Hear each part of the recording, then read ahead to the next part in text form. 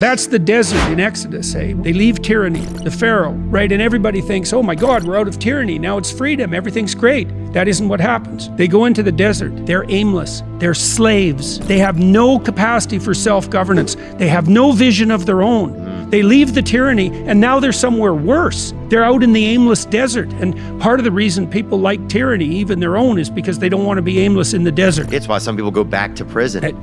Absolutely. Absolutely. It's why, after the Soviet Union collapsed, it's why so much of the population was nostalgic for Stalin.